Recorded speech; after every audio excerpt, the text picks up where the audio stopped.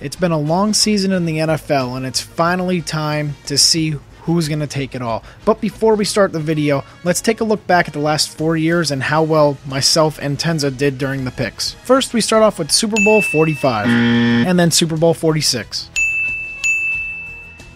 and then Super Bowl 47, and then Super Bowl 48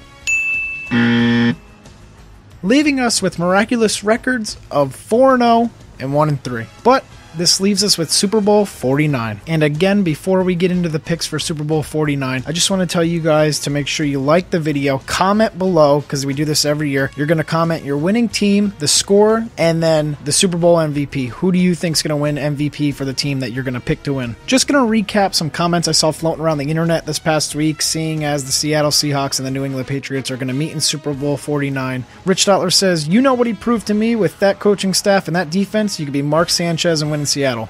That is very true. Stephen Doc Love says, Well, if Ravens would have beat the Patriots, we would have been in the Super Bowl. Bummer. Oh well. Sad to say it's true that I think the Ravens could have beat the Colts, and how can I pass this up? Tensa himself called it on January 3rd. The Patriots and Seahawks Super Bowl was going to be inevitable. I want to do a little segment this year to kind of shed some light on celebrities who are fans of the Super Bowl teams. So the Seattle Seahawks have Drew Carey and Joel McHale on their side, so big time Seahawks fans. But my favorite super fan of all time of the Seattle Seahawks has to be Chris Pratt. You don't know who Chris Pratt is? Star Lord from Guardians of the Galaxy? You said it yourself, bitch. We're the Guardians of the Galaxy. Now moving on to the Patriots. So you got John Krasinski, you know, the dude from The Office. Tom Brady's wife. I'm not even going to try to pronounce her name. And then my last one, I was kind of looking around and I finally got to see Eli Roth. You film buffs will definitely recognize Eli Roth as one of the horror movie gore genre directors of his time. He directed movies such as Cabin Fever, Hostel, and Inglourious Basterds, which produced one of my favorite characters on the silver screen, the Bear Jew. You might know him better by his nickname, the Bear Jew. Have you heard Aldo the Apache? You got heard about the Bear Jew. But without further ado, let's jump into Super Bowl 49's picks.